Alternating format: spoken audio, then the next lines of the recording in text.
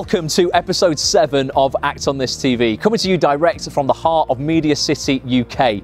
Now, guys, I've got a very special episode for you all today, okay? It's not only going to be a super motivational episode, it's going to be a super entertaining episode because my special guest is one of my best mates and also one of the wittiest guys I know. Star of Downton Abbey and more recently ITV's The Level, Mr. Rob James Collier. Now, I met Rob at an acting class in central Manchester about 15 years ago, and I knew the minute this guy got up and attempted one of Shakespeare's soliloquies in this heavy Manc accent that we were going to be mates for life. Okay, it's been incredible seeing this guy with a business degree and no classical acting training go from modelling calculators in an Argos catalogue to starring in one of the biggest shows on the planet. Okay, working with names like George Clooney, and he even got to dance with Dame Maggie Smith. Now, I'm going to be talking to Rob all about that journey, what he's learned along the way, but more importantly, about what you guys can be doing to emulate that kind of success in your own acting careers. So I'm going to head up to on the 7th right now. Don't go anywhere. I will see you guys on the inside.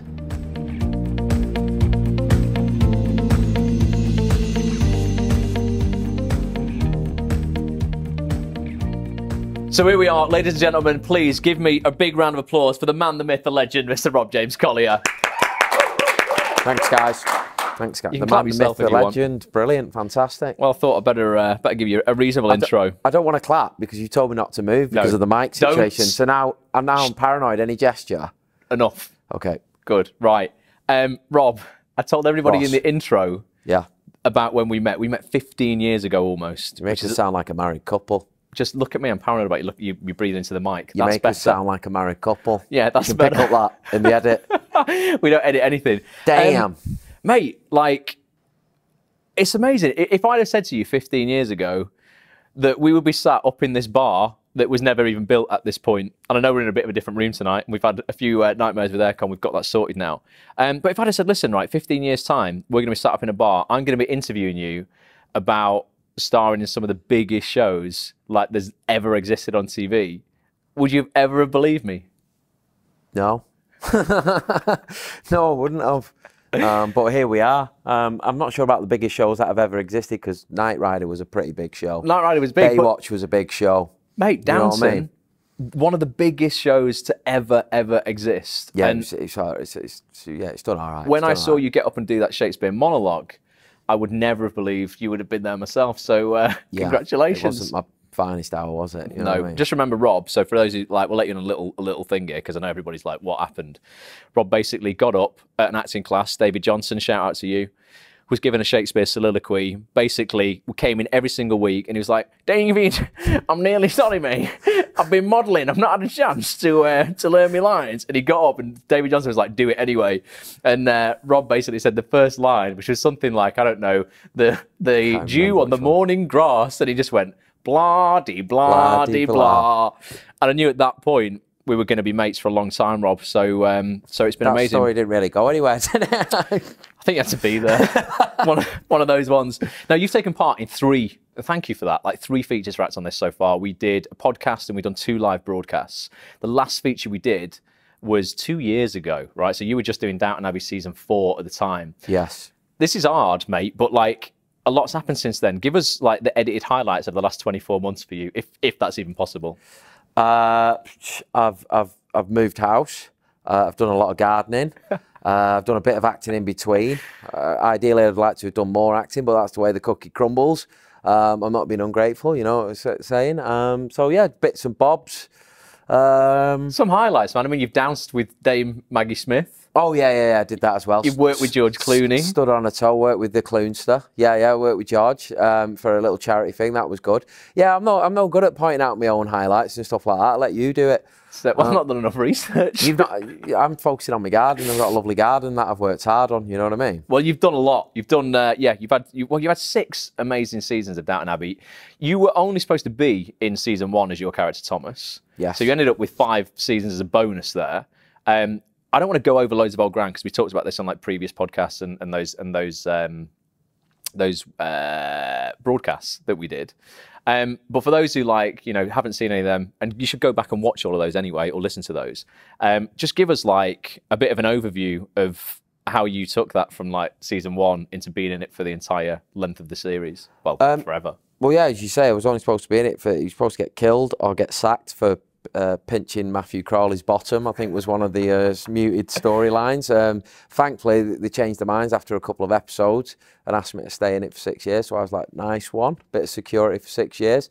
Um, and yeah, you just take it one year at a time. They kept asking for me back, and I'm not sure why.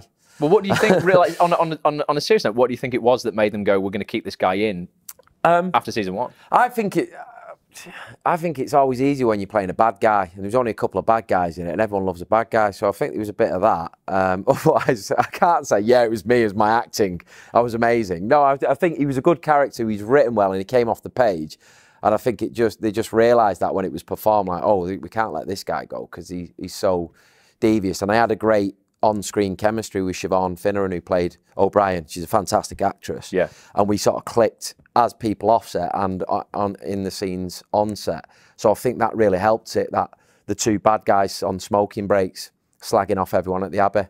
That was it. Although in later seasons, like Thomas, we all started to like him a a little bit more because, like, he, yes, he was bad, Yeah. but he stood up for people and kind of was like, you know, bad to the people who deserve for him to be bad too. Yeah, it, well, it's you know what I mean. It's Sunday night drama. You've got to, the bad guys can't ever really be wholly bad.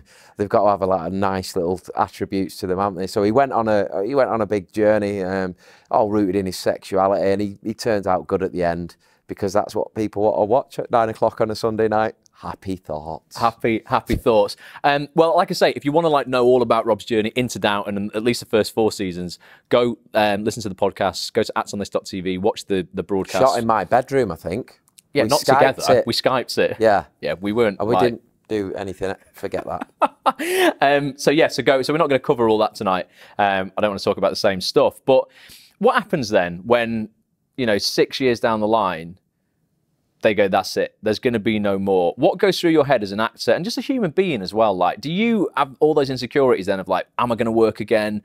What am I going to do now?" Do you sit down with your agent and have a bit of a, you know, not a crisis talk as such, but like get a plan together? How were you feeling when you found out it was finished? Well, first of all, it doesn't. When a series like that with six is a remarkably long time for a drama series, so you you kind of know the end's going to come inevitably because you can't just keep telling the same stories because obviously you, you run out of things to write, and I think it was naturally coming towards an end. Um, um, so we we, kind of knew it wasn't. Oh, we're not going again. We were like, I think we were you know incredibly lucky to get six series. It was that well supported around the world, so you sort of know it's coming. Um, so you can sort of plan for it a bit. Um, but for me, I'm just kind of I like you mentioned, like the uncertainty. Yes, it brings uncertainty because you're not working, but also I think that brings fear, and I think fear can sometimes be harnessed for a good thing, because if you if you're always working, you can get complacent and not work as hard as hard at your craft uh, as you, as you should be because you've got this financial you know net which for me was for Downton Abbey. So when that's gone and the safety blanket's taken away for me it's a positive thing because it's like ah shit man I've got to go and I'm back to job in actor now. I can't, I can't rest on my laurels and assume oh I was in that so they're going to put me in this. Because it don't work like that. There's 21 other actors in that show you know big you know big actors Dame Maggie Smith and stuff like that. So it was a case of wow back to auditioning. And after Downton, it was seven months before the, the next job, which was the level, came along. yeah, so it wasn't easy. It about that a wasn't. bit. How was it you in don't that get break? you don't get plucked out in it, you know. And you can have a strategy as much as you can with your agents, chat. And at the end of the day, the right part's got to pop up for you, and and you're just back to being what you were before it started, which is a job in actor. And I wouldn't have it any other way because it does give you that fear, and it makes you appreciate it more the next time you're in work, Mm-hmm. being out of work, if that makes sense. Yeah, because I, no, I remember you said, and something that I think you, you you've always been uh, over the years I've known you is like quite authentic in in in the jobs that you've taken. And I remember like remember back in the day, um, God, this is years ago. They offered you Sky offered you Dream Team, which was a huge show at the time, and you turned that down because you would have to relocate to London, um, and you were like, actually, is this going to be viable for me to do this and that kind of thing? And um, I guess that was you've always been good at dealing with fear in that way in terms of going, well, I'm not just going to do this. I'm happy to turn things down and wait for the right job to come along. Yeah. Um, well, an actor once said to me, "You're only as good as the jobs you turn down." So I've taken a lot of, you know, that sage counsel. It's right though. I mean, you've got to be. if you want to end up at a certain place, you can't accept every job that's offered because you'll that'll steer you in different directions. So you have to remember where you want to go and keep focused on that. And sometimes, you know, I've been in positions, you know, when I left Coronation Street, I didn't work for 15 months. Yeah. You know, I had a baby on the way. So you all them so you're not millionaires when you're on shows like that. You get paid well while you're in, but it's not sort of life changing money.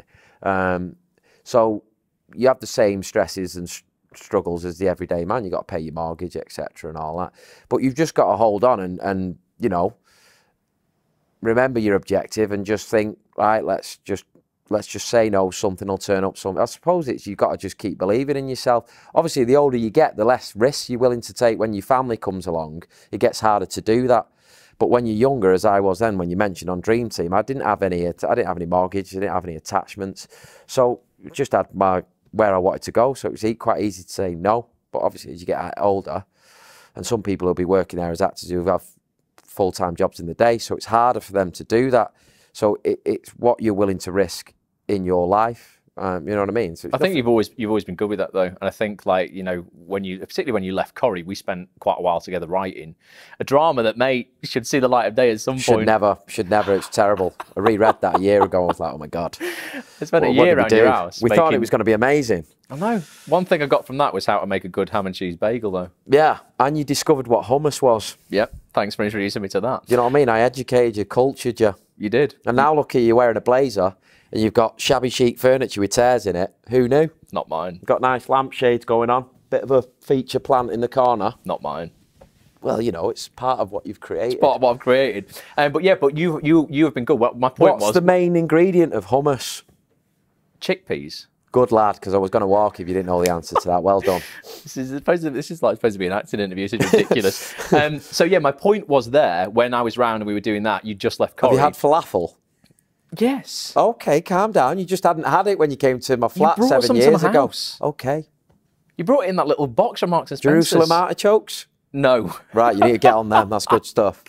Anyway, Sorry. when we were around your house, uh, my point here is that you've always been good at fielding either offers I you were or say feeling then. Like, whoa, what's going on here? Sorry, relax now. This is me now. This is relaxed. I don't like big intros. and getting the real stuff like that. Yeah. Well, you took because I I was like in your flat a lot, and I Well, heard that you. sounds wrong. I could, let me just ex- explain, people. He voluntarily came to my flat. He wasn't held there against his own will. Um, and just in case they edit it, he voluntarily came to my flat. He wasn't held against his own will. Sorry. Yes. Is he lean away from the right mic. now? Yeah. I've jumped the lens, mate. I'm re- we're, we're revolutionising this. I knew it was going to be like this. I knew this was going to happen. You can go with the two shot on that one. We don't, don't- panic. We've got the two shot covered. Right, it's fine. That's a two shot, right? Is it? Yeah. Yeah, we're fine. So you turned down. This is ridiculous. Don't you point your finger at me. You, you.